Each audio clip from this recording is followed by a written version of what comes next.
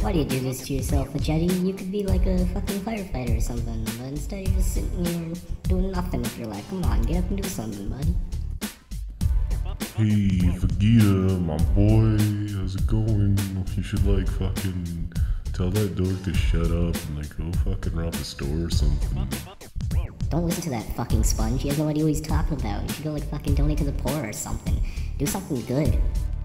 Do something good.